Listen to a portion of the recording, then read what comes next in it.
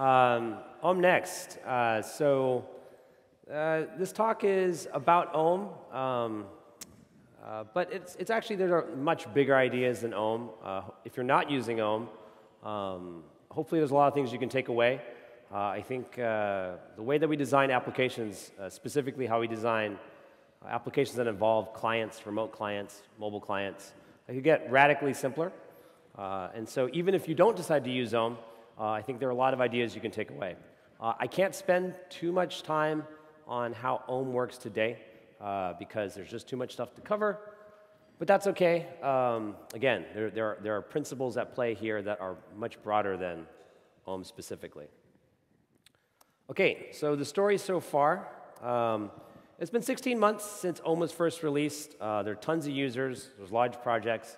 I've seen projects with like you know 10 to 20,000 lines of code of ClojureScript, which is a lot of ClojureScript. So it, it's, it's doing well. Um, eh, you know, the, the, one of the big ideas, though, wasn't just to get people to adopt Om, right? That's Om was as, as much an idea as it was a library. Um, it was to demonstrate to sort of the Clojure and ClojureScript community at large that there was a more idiomatic approach to uh, user interface development, um, that it was possible to do uh, uh, very nice UI uh, programming with functional techniques. I think this is something that's not well understood. It's definitely not covered in academia, uh, and it was, it was nice to see that React could uh, take us there. And Om you know, pushed it a little bit further. But it was, it was also, part of my intent was also to demonstrate to the broader uh, UI community, specifically JavaScript, um, that there's just a completely different way to do it. Uh, and, you know, this, and again, Om was from my own JavaScript perspective. I've been doing JavaScript UI work for a decade.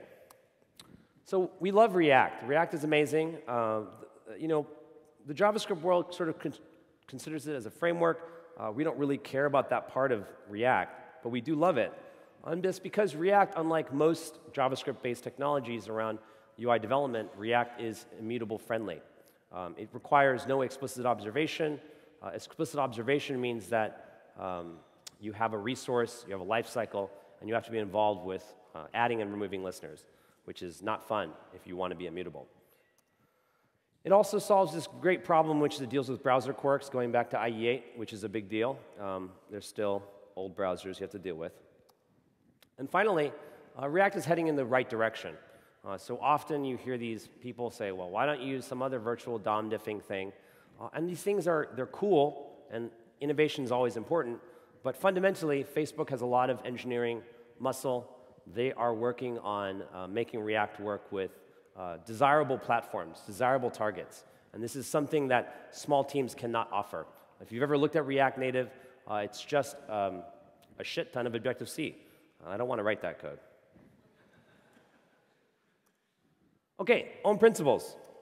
So Om has some principles. This is the basic ones. It has a lot of features, but we're not going to talk about those. We want to stick to the core ideas. Uh, so Om is single store. Uh, you know, you put all your state into one place. It's very similar to the way that we think about databases. I think this has huge advantages. Um, there's an asynchronous rendering loop. Uh, one of the biggest mistakes that you see in typical UI work is that people flush too soon. You flush your operations, uh, you have some crazy event loop, there's an event cascade, and then everybody's flushing. And this is the single biggest source of performance bottlenecks. Uh, people hack in JavaScript, they add debounce all over the place. Uh, it's terrible. So Om forces you to think uh, in terms of an asynchronous rendering loop that goes at 60 frames a second. This is not my idea. So I, I had done quite a bit of Cocoa in the past, and Cocoa has a really nice thing called set needs display, which queues a render. Uh, you're not in control of flushing. Uh, it also supports jumping to any point in time, uh, which means that you, things that are generally kind of annoying to do, you have to use the command pattern if you're doing, doing this in an OO way. But Om makes it very easy. You can take a, um, a snapshot of the state, which is efficient to compute because um, persistent data structures, which you heard about yesterday, uh, and Om can just go back in time. And again, this works because React has a nice uh, diffing-based strategy that makes this very natural. Uh, so things like, you know, you do an optimistic update, server says, well, that's not going to work. It's very easy to roll back, and so on. Uh, and there's, of course, deeper implications for rich applications. So if you're doing anything that's like a complex editor, um, doing undo or sophisticated forms of undo uh, and replay and redo are, are actually dramatically simpler uh, with persistent data structures. Uh, it, it, one good example is um, actually Adobe acquired this product called Behance, and they don't use ClojureScript, but they use Mori. Uh, and they have this crazy, you know, rich UI that people can build design profiles with. And their whole undo stack is based on uh, ClojureScript data structures. But Om is not perfect. Very, very little software in the world is. Om has issues. And, you know, over time, uh, it becomes clear what those issues are. Um, you know, one of the biggest things, if you've, if you've done Om, and eventually you sort of just train yourself around this problem, is that, is that Om mistakenly, I think, uh, tried to, um, at the bottom, when you make your components, it has a sort of, you use functions. Um, but the problem is uh, you have closures, and actually React's lifecycle is uh, problematic uh, because you don't know when those methods are going to run, and you don't know what data you actually closed over. And so this is something that's going to go away. Uh, cursors. Cursors bought us a lot of time. It bought us 16 months of time. It was the best idea that I had 16 months ago. And in fact, it, it was an okay idea. It's been sort of ad adopted in many places. Um, it you know, gives you this sort of, um, uh, gives you sort of the benefits that you get from zippers or lenses, but the API is, is around um, collection access, right? So you have this very natural, uh, I'm going to get a key or I'm going to access an index, uh, and you get a thing which tracks the location. Uh, but as really it turns out that it really it was a stopgap. It was just a way to, so that we could build modular programs. But it's not like I thought they were the best idea. It just let us get to where we are going to go. Uh, and then there's another problem, which is that Om fundamentally, you know, I, I, you know, I released it and I had a very small set of things that I wanted to prove to the larger UI programming community, which means that there are a lot of things where it was not clear um, whether this should, should, or should not be pluggable. Uh, and I think it's you know, clear to me now that it's not quite pluggable enough. And then there's missing pieces. There are things that we just, that, that just never got addressed uh, because no ideas. I had zero ideas. Uh, this talk is very much about just stealing good ideas. Um, uh, and we'll talk about that more. But there's missing pieces. So seamless sync. So something, you know, right when it released people were like, how do you do sync? And I was like, ah, I don't know. I have no idea how to do sync. Um, and sync, sync has uh, multiple dimensions. Uh, the first thing you're always wondering is like, well, how do I get the initial set of data from the server? Uh, and once you get the initial set, then you have this other problem, which is how do I get changes, the change set? Um, some, some amount of time passes, you need to update the client because something happened on the server. You know, how do you merge those into the um, client application state? So there's just no solution. Uh, people have ad hoc solutions because you know, they can work around this problem, but there's no standard way uh, to talk about this problem. So, one thing I've learned from Rich Hickey is the very first thing you have to do uh, is describe the problem. And the problem has nothing to do with Om, has nothing to do with React. There's a generic problem for all software that has to uh, deal with remote clients. You have a server and you have some remote client. Um, and then once you describe the problem and it's clear uh, what the problem is, you have to enumerate solutions. And that doesn't mean your one idea, right? One idea is not enough. Uh, you have to weigh it against multiple solutions. And we're going to talk about three that I think are, are really important. Uh, and none of them are anything that I came up with myself. One is from Facebook, one is from Netflix, uh, and the other is Datomic and from Cognitect. Okay, so what's, what's the actual problem? So Tim Berners-Lee, when he invented the first web browser, um, you notice there's this beautiful, rich UI, which eventually became OS 10 around this.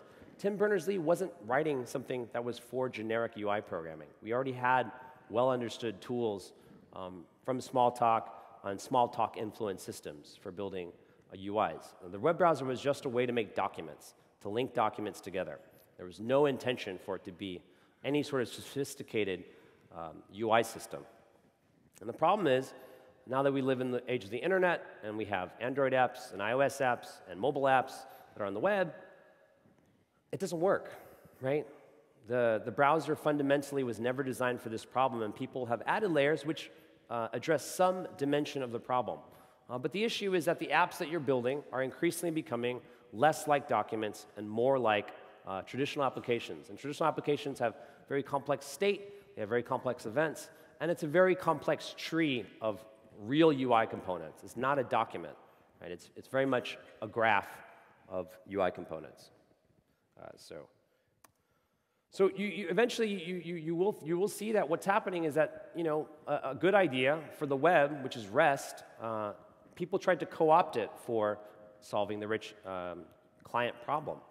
Uh, and it ends up being a horrible, terrible fit. Uh, and people have these really convoluted, you know, monstrosities that are back-end services. This is an image from um, uh, Miyazaki's um, Howl's Moving Castle. Uh, so, you, you, know, in REST, you're supposed to have a logical and logical resource, and you separate them, and they're all supposed to be separate.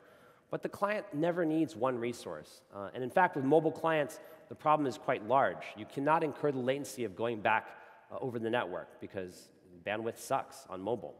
Uh, and what happens is that people start folding in more and more resources into this endpoint. You have a service that just looks terrible. It doesn't actually solve everybody's problems. And in fact, you make decisions that don't work for future clients. You know, Apple releases a watch. Now, now what? How are we going to serve that? Um, this is only going to continue to get worse. Uh, I think if you've been in this space and you've had to serve iPads and iPhones, Android tablets, and so on, uh, you know that um, it, it, it, creates, it creates problems when you try to you know, basically sort of force REST into um, serving all these different clients. There's, a, there's an alternative. Uh, there's a demand-driven approach. I can't get into every aspect of demand-driven design. Um, I actually did a talk at QCon. I have no idea when that will get released, but if you want to hear more about that, uh, which I can only dig into a little bit today, uh, check out that talk. Uh, but effectively, uh, in these solutions that I'm going to, uh, possible, potential solutions I'm going to talk about today, um, there are important properties that must be maintained in order to get um, the value proposition that I'm talking about. Uh, any system that's going to fix this problem that you have today needs to have some way to basically um, allow clients to have composable demands. So you, the, the client gets to describe the demand, but every unit of the demand must itself fully function as something that can be sent uh, to something that can fulfill that demand. It has to compose, it has to be recursive. Uh, and you'll see that when I'm saying this this, this, this, this property exists outside of Clojure. The two other systems I'm going to talk about are JavaScript systems, and they have this property. They are composable. And every, basically, sub-demand is itself a, a full demand. Uh, there's another huge issue, which is um, all, these systems support interpretation. Uh, they, don't, they don't hard code what the demand means, and this is extremely, extremely important. Uh, in, in, fact, uh, the reason it's so important is because you, when you write the UI, uh, a huge source of complexity is where's my data? Where is it? If you were here for David Chelimsky's talk, uh, you really, it's really nice when you don't have to care about whether the data is in locally in a cache or if it's remote. And in fact, your UI should not be involved in that problem at all. Uh, the solutions I talk about uh, allow the component to declarative, declaratively describe what it needs, but it's not involved in where I'm going to get it. That's something, something else to do this. So um, it's really important. You have a phrase, a generic phrase, that's a nice one, and it's great when you can understand in this context it means uh, something completely different. This is actually a great slide from a great talk by um, uh, Gregor Kiczales.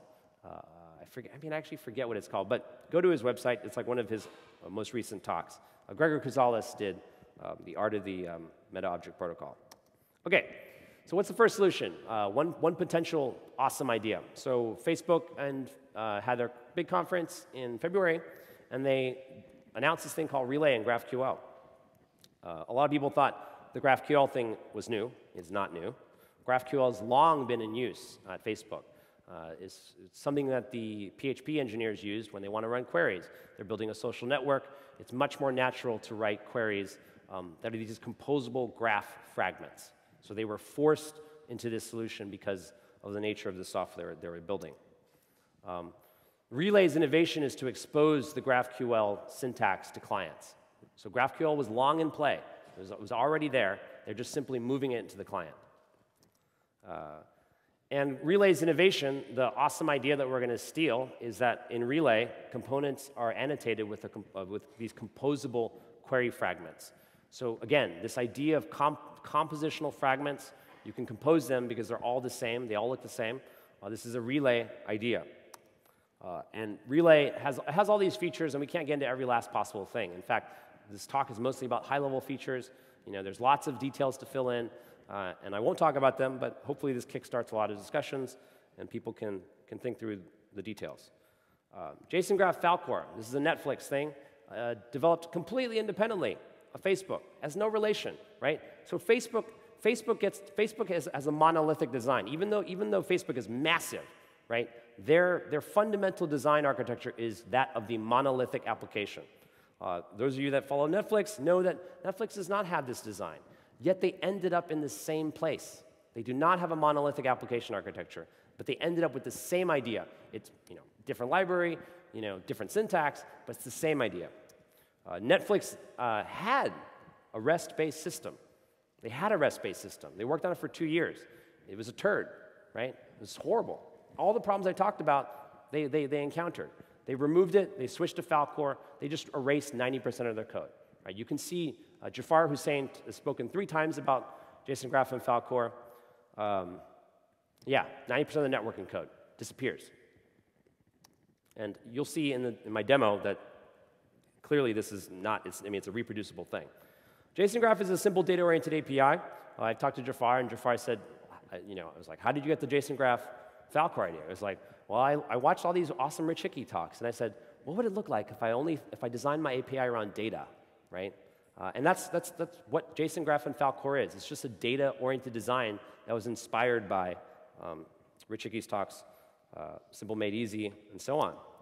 Uh, Falcor is the routing component, and this is another idea we're just going to steal. Falcor takes uh, the simple JSON data structure which describes what the client wants. It's just a recursive data structure with keys. And what Netflix does is they take each key, and Falcor is a router. It recursively fans out on, on the values, and each value is another map with more keys. It collects all the results, and it returns something in the exact same shape.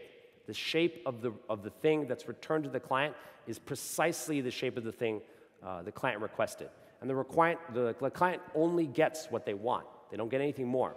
this, is, this is actually identical to uh, GraphQL. Uh, the components get to describe exactly what they want, it's recursive, and they get back the result in the exact same shape um, that they made their demand in. Uh, there's another, there's a third possible uh, idea, solution, and that's Datomic pull syntax. So if you heard David Chelimsky's awesome talk about Datomic, um, this is a bit of a review. It's not nothing, nothing new. Uh, Datomic pull syntax does this, right? It lets you, without having to write, think about, think about what he was showing. He was showing, oh, you could touch the entity and you could write a bunch of code, or you could just use the pull syntax. No code, right? No, no chance for bugs. The pull syntax just describes in a declarative way what you, what you would have had to write functional code for. Right? You can just get rid of that code. Uh, uh, Datomic pull syntax, syntax is fundamentally just recursive select keys. So if you're familiar with select keys from Clojure, select keys is a vector of keys. Uh, Datomic simply makes that thing a recursive operation. It's just recursive select keys. It's not scary. Recursive select keys. That's all it is. It's just a generic, simple data description. GraphQL, it's, a, it's a, I mean, this is one thing I don't like about GraphQL, and we're not going to take this. GraphQL is a string-based syntax. It requires um, uh, a pass. They convert it to an AST. It's, it's too much. So we're just going to use simple data.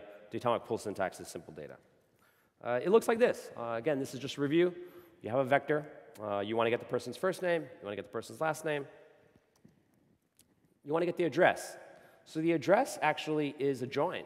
The address is not, uh, the address is some reference to something else. In Datomic, you would say is component, and this pull syntax would actually pull in all the uh, aspects of the um, address entities that are associated with this person. If I want to, for example, only get the zip code, then I take the key, I wrap it in a map, and I supply a new vector, and I say what thing I want. But again, this has this property. It's recursive. It's simple. The whole thing looks the same all the way down, right? So immediately you should, you should think, this can be composed. I can actually distribute fragments throughout my program, and I can build up some larger uh, query. So let's synthesize these ideas into, into something. So this, this, this is basically what OmNext is going to look like. Um, you know, the details are probably going to change. I mean, OmNext is by no means ready. Uh, but there is a working thing, and I'm going to demo the working thing. And I think it will demonstrate the power of the ideas behind Relay, GraphQL, Datomic Pull Syntax, uh, JSON Graph, and Falcor. So this is one possible, one possible future for Om. Uh, this is a, a, small snippet of code, and let's focus on just a few things. The first thing is contact list. Contact list no longer takes any arguments, zero arguments. It does not take props, does not take ops, doesn't take anything. Uh, this, this basically gets us out of this problem where you could close over something and then in a life cycle not have closed over the thing that you thought you closed over. So you can't, it just doesn't take arguments. There's a standard interface. This thing receive, will, will receive the same arguments that it received before, but you can never close over things accidentally. Uh, the next thing to notice is this, right? There is a static method, and this is really important. It's a static method. It's a method you can invoke without instantiating, without rendering anything, and it's just um, pull syntax, right? So here it says this component needs its co contacts, but it doesn't actually know how to get those contacts. It doesn't, it in fact, doesn't care, because we need to preserve modularity. The same modularity that cursors gave us in the past. So you, we have a little question mark contact. It says, well, somebody knows what I need from app contacts. I don't know. Then we say, well, we're going to bind that to some other component, possibly written by some other person. We just don't care who that person is. I mean, we have to know what we're going to render. We're going to render a contact, we're not concerned about what that thing actually needs. We ask it, tell us what you're, what you're going to need. I'm going to compose your query uh, with mine.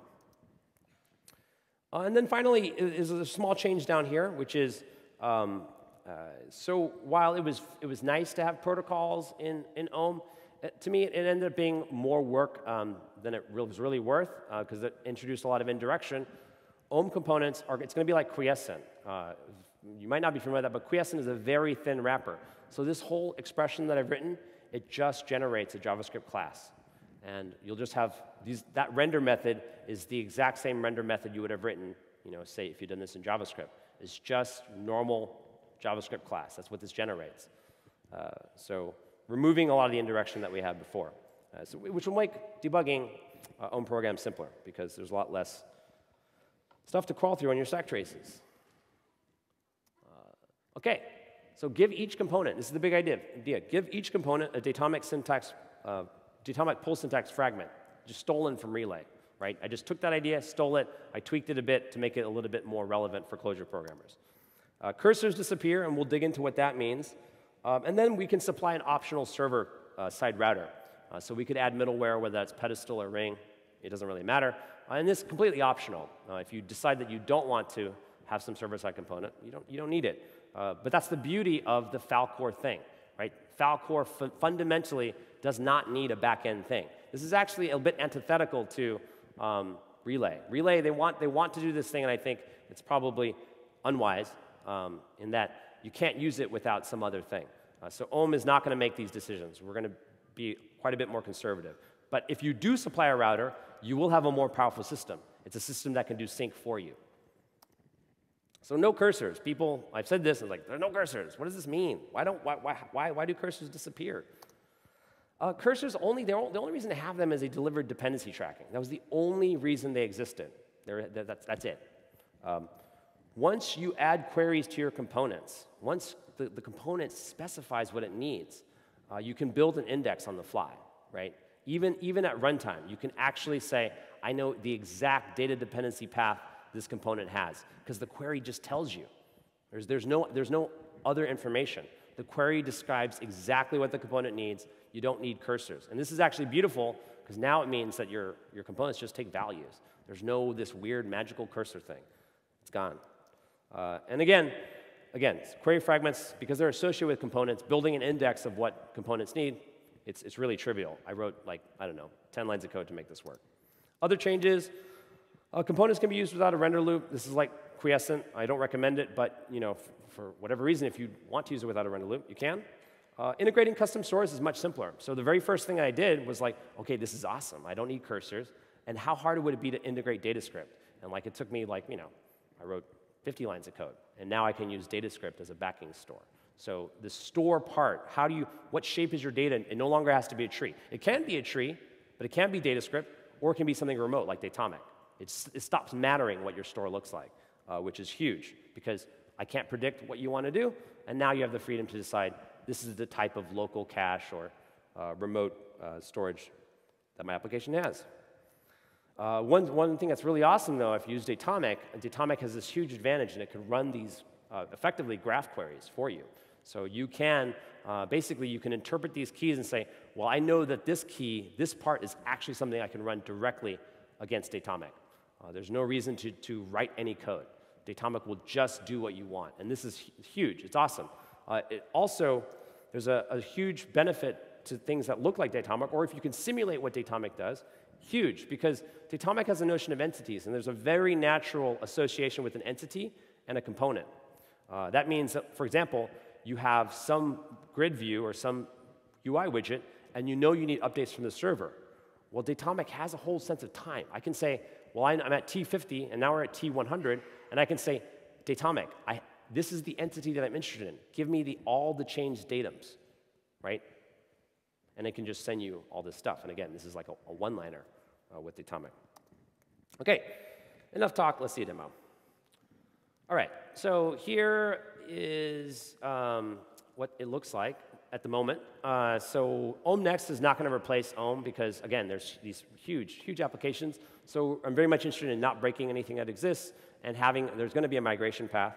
Uh, but so I can include the Om Next uh, namespace up here. And it, it, looks, it looks very similar. If you've done any Om, it, there's nothing, there's very little new to see. Uh, what's really cool, though, is that here I have this, I, I'm going to test getting a query.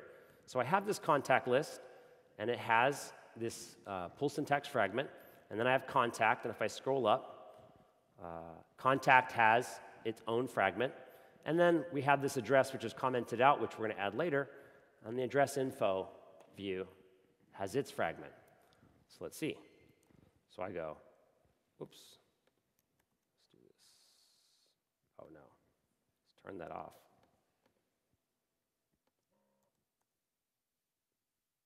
Now, have to start over.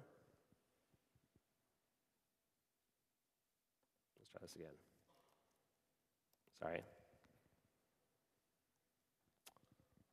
Um, we wait for that. Sorry, this is going to be somewhat slow because this is a really old laptop, so apologies for not being super fast.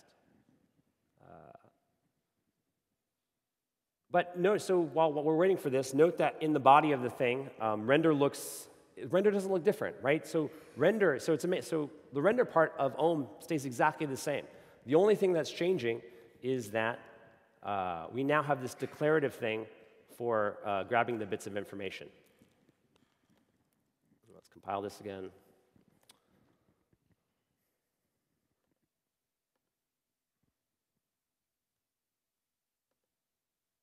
Okay, switch the namespace. Boom. There it is. So I said, give me your query. And actually, this is amazing for debuggability. You now have components where you can always know exactly what the, the component wants. So down here, I have a little bit of core async. I'm going to say this is without doing anything with the UI. So the, I have not instantiated the UI. I'm calling a static method. It requires no instantiation of the actual component. I can say, get the query for the contact list, uh, fetch it, hit the endpoint, and then give me that data. Right? So my request looked like this, right? And then down here, I got only what I requested. So let's, with again, I'm not going to update the UI yet. I'm going to scroll up here.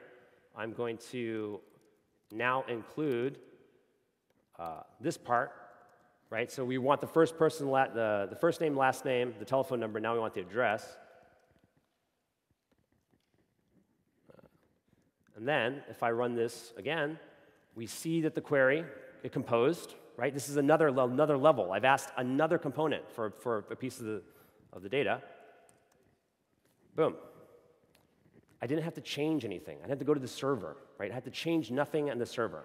I didn't have to change the endpoint. There's just one endpoint that understands how to serve whatever the client wants. There's no, there's no more coordination between what did the backend person want to specify and what does the client need. So having done REST-based systems for a decade, there's this ridiculous long cycle where it's like, okay, the endpoint doesn't have what I want. In this world, the, basically the front end people get to describe what they need, and the back end doesn't get to do this, right? There's some, there's some work they have to do around security, authentication, the usual stuff, but the clients are now in control of the data they need. Oh, and actually, so let's, uh, let's, let's actually add this to the front end. You know, so if you're doing Figwheel or whatever, um, whoops, did I miss something?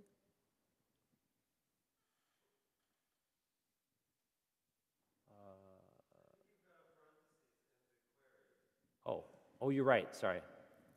Down here. No?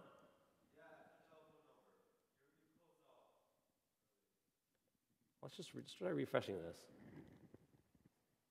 Well, there it is. I don't know why it didn't load, but that's okay. But again, if you're using Figwheel, right, you would just change the query and then the, up, the, the front end would just update. And this is awesome. If you've done UI development, this is it's huge, right? Uh, and, this, and this principle that I'm showing you, right, this would work with React Native, right? You have the same, exact same uh, design principle that works regardless of what client that you're, that you're targeting. Again, as long as you're using React to the rendering, because React gets you to iOS and Android. Okay, so let's move on. Okay, to-dos. So there are things to do. Uh, query updating is like something that we have to work on. Um, ring pedestal, uh, datomic middleware is also something we have to do. And there's going to be a ton of work on just bridging. Um, but again, I think this is big. Uh, this is, again, this is exactly what uh, Facebook is talking about, except I'm showing you a demo and you can just use, you can try the demo today. It just works, uh, especially if you decide to use Datomic. So Datomic actually now is like a, actually an extremely ideal um, a client, sort of client, a thing for clients, right? Datomic is a better database when you're building these dynamic clients. Um, I'm done. But actually, no, I'm not. Um, so this is Euro Clojure, and so OmNext is awesome. I'm really excited about it, but I don't get to talk about ClojureScript very often. And a lot of what I'm talking about OmNext just fits into a much bigger picture. Uh, so there's actually quite a bit more to do uh, and talk about. Uh, so uh, ClojureScript has, got, has become really big. And it's very exciting. Uh, you know, I get to talk to a lot of you, and it's very inspiring. Uh, but it's, it's often the case that it's hard to see what is, what is ClojureScript doing? Where is it going? What's the bigger picture? Uh, I actually think with things like OmNext, uh, and if uh, other frameworks decide to adopt the Relay Falcor ideas, uh, there's a huge opportunity to completely change the way that we think about development. In fact, I think we can leapfrog um, the sort of best practices uh, that are that's sort of like the industry standard. Um, you know, people often say, "What's what's Clojure's killer app?" And like, you know, I think the next things I'm going to show uh, it's less like, come on, this is Lisp. Like, like, it's like you have killer apps inside of your killer apps. And uh, some of these demos are going to show that. Okay, so why ClojureScript? Uh, uh and hopefully the, the OmNext stuff is by itself convincing, but there, there is more. Um, you know, because I think everybody's here because we love Clojure. Clojure's a lot of fun. Uh, Clojure rocks. But JavaScript reaches. Uh, and, and we're seeing that, right? It's, it's on, we're doing nothing, and JavaScript is finding itself more and more. And through ClojureScript, all the places where JavaScript can go, uh, we can go. So there is a big plan, and so let's talk about uh, the big plan, because it's finally becoming uh, kind of clear. So ClojureScript is bigger than the web. I mean, it's the path to all the targets where the JVM can't run, which is a lot. There's a lot of places where the JVM can't run. Um, uh, and there's actually a lot of things that have been set in motion. So if you follow me, you, you see me tweet, but you might not understand you know, what's the big picture for doing all these various things. And let's explain some of these. So we kickstarted off a Google Summer of Code project, which is huge. Uh, we've already made a ton of progress. Uh, and it's this project which allows us to process uh, CommonJS, AMD, and ES 2015 modules. And you might be like, well, I just want to write ClojureScript. Why do I need that? Um, React is not written in ClojureScript, right? You consume it as this monolithic file. If you want to use React add-ons, you have to consume this even more monolithic file. It's not susceptible to all the optimizations that you have. Uh, so we're doing work that allows us to process all these different types of module formats, and we convert them into uh, Google Closure modules. So as far as the Closure, ClojureScript compiler is concerned, it's just all the same type of JavaScript. There's no difference between React um, and your own ClojureScript code. This is huge. The other thing we're going to do, and this is, again, we're, this is just the benefit of JavaScript being everywhere, is uh, Java 8 shipped Nashorn. Nashorn is a very great, awesome, high-performance uh, JavaScript library and you can run JavaScript inside the JVM, and it's fast. Uh, so uh, Babel is huge. It's taking off. Uh, React has switched to Babel. So React doesn't use JSX anymore. It uses Babel to process its, you know, the JSX stuff.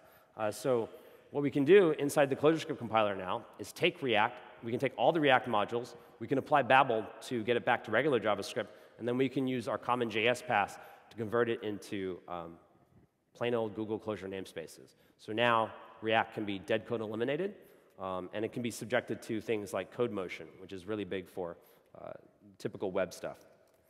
Um, and it's just, our, it's just our path. And so this, it's bigger than just ClojureScript, right? So there are tools that are getting super popular, and they're all awesome. Things like Figwheel, things like um, uh, Boot, Boot CLJS, right? The moment that we have this stuff, you can now use Boot CLJS to build your iOS app or your Android app. You can use Figwheel to, to live code um, your Android tablet application, whatever. It, the, the, idea is that this actually gives um, other tools uh, superpowers. So huge shout out to Maria Neise. She's the one that's working on this. It's amazing. Um, she's been incredible.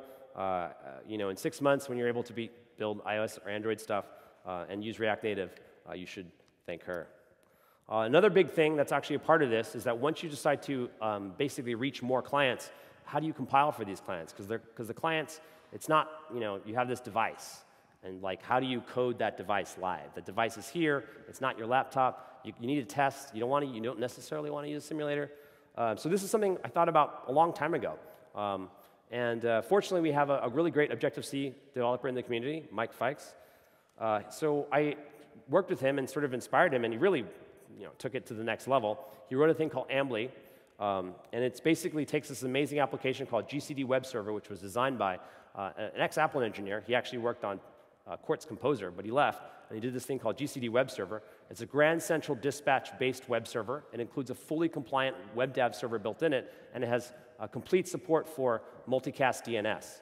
Uh, and, and, we'll see that here in a second, which means that you can basically use Xcode, install uh, onto your device, and if the device is on Wi-Fi, the device will actually, over Wi-Fi, broadcast that it has a REPL. The REPL connects, uh, the device tells um, uh, the, Java, the JVM process, I'm mounting a WebDAV volume, and the compiler writes to the WebDAV volume. Uh, and this is just seamless. And so once you've, once you've booted the app, you don't even need Xcode anymore. You just live code against, directly against the device. Uh, so compile sync over WebDAV, uh, delivers iOS REPL. The connection stuff is really cool. The MDNS stuff is really cool. It's actually, I, I wish we could do this as easily for the browser, but it turns out that um, the GCD web server stuff uh, actually looks, it's quite a bit simpler to set up, which is crazy. Uh, so the thing I'm going to demo, and sorry, this again, this is a slow laptop, so this can take a second. Uh, the simulator is not particularly fast to boot. So I'm using Ejecta. Uh, Ejecta is actually uh, has, has, been used by quite a few companies. What is Ejecta? Ejecta is a native WebGL component. It's a WebGL view. And what the developers of Ejecta did is they added, um, it's OpenGL, but they added WebGL bindings and Canvas bindings. So you can imagine you want to do visualization right, on an iOS device, and you want to combine it uh, with React Native. So this would be your arbitrary drawing surface. So this is booted up. Uh, let's switch to uh, this. Um, again, this will take a second.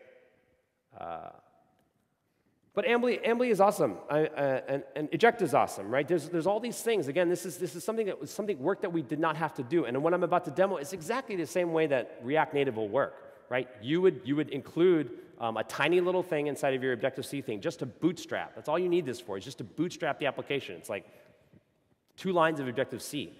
Uh, and then once you've done that, then you launch Ambly, and Ambly uh, does all the work because GC, again, the GCD web server thing that you, this little CocoaPod thing, it's actually uh, quite cool, uh, does all that, does all the hard stuff for you. You don't, you're not, you don't have to be involved um, in the tricky bits. Uh, again, apologies for this. This is the uh, running a simulator and the, this at the same time is um, pretty intense.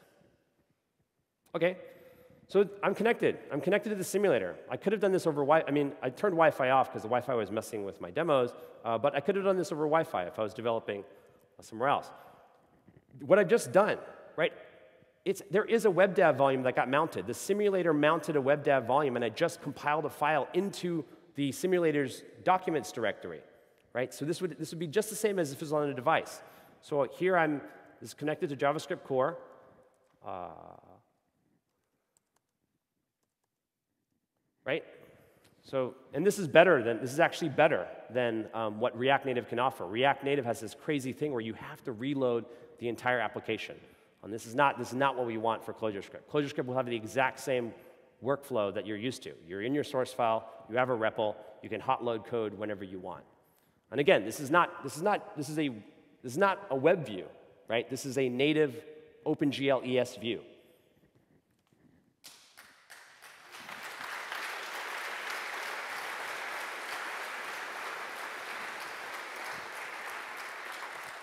Okay, thanks. Uh, so huge, huge shout out to Mike Fikes. So there's just all these people doing this incredible work, uh, allowing ClojureScript to go places it has never gone before.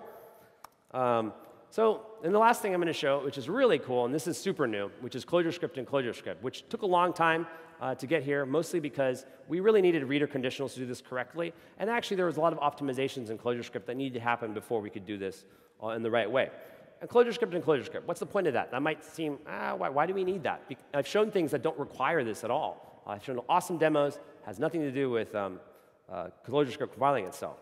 Uh, reach, that's the only reason to do this. It's not for cool points. Uh, it's only because there's cases where, for various reasons, you, you, you just need to strip out the JVM. Um, so, there, so typical things like Electron's getting very popular. Electron is a fantastic way to build with JavaScript um, apps that can run on Linux, Windows, I, uh, and OS 10. Um, you, it's awesome. So in Light Table wanted to do this, but you know, we were, it took a long time to get to where we are. But that's a case where you just want to ship something and you just want to strip the JVM. Uh, Node.js is a huge case. People have talked about this forever. We're finally uh, close to allowing this. You just want to write a shell script. Node.js starts fast, has a very small memory profile, uh, which is also good for really cool targets like Raspberry Pi, where the JVM is actually uh, pretty slow.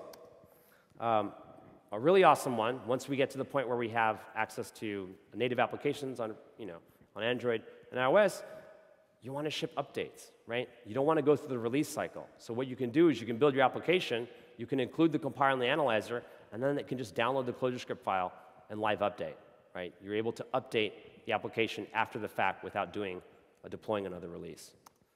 Uh, and then there's a nice one, which is just reaching more people. Um, there's a lot of people that would love to try a REPL or try a library.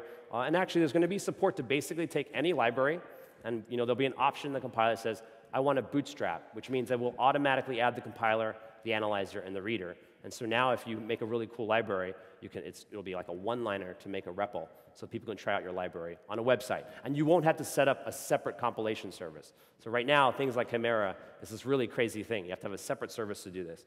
Uh, you won't have to do this anymore. So let's see a little preview. It's not ready, uh, but it's still, it's still totally awesome. Uh, so let's close this. All right. So this again is going to take a little while.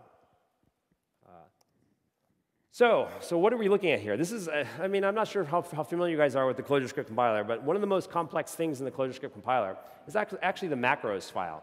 Clojure is completely different, defined in terms of macros. Until you get macros, you really can't do anything. Um, this is fun. So this is uh, ClojureScript's meta circular moment. So this is the macros file, cljs.core. This, this defines all the macros, doseq, um, things like you know, plus, which inlines, uh, and so on. So all these things that we're excluding, the reason we have these massive set of exclusions, we have to exclude Clojure's compilers so we can define uh, ClojureScript ones. Uh, but what's quite mind-bending is here we have this thing. When this file is compiled as ClojureScript, it requires itself, right? It needs to require itself to generate the macros that we generate in JavaScript. So that's pretty crazy. Um, so I'm going to compile the macros file into JavaScript. So this is going to get loaded. So I, this is a node REPL. So we're compiling it, and it takes a while. It's a huge file, a lot of macros. Uh, we're loading it into um, the Node.js runtime. And let's load uh, the actual demo file now. Uh, so up here, so this, so this, will be totally, totally doable. You, you want to build, you want to demo your library, and you just want a single JavaScript file. This is ClojureScript. Right here, I have a, a namespace. This is a ClojureScript file. I'm including tools reader because it got ported. I'm including the analyzer. And this is not a separate analyzer. Right? We're just loading the analyzer that the JVM loads. It's exactly the same analyzer, the same compiler. There's no difference. Uh, let's compile this. And then, uh, so we're going to show this guy. Uh, so here we have, an, so again, not everything works, but this does show something non-trivial. It's, this is a, um, it's a function which takes two arguments, is higher order, we're passing in arguments. fn is a macro, and plus is a macro. So all these things have to work. And again, this, this is just the real ClojureScript compiler. We did not change the ClojureScript compiler to make this work. Let's just clear this out. Let's switch evaluate this. And there we go. So that's, that's inside of Node.js. That I did not, does not happen inside the JVM.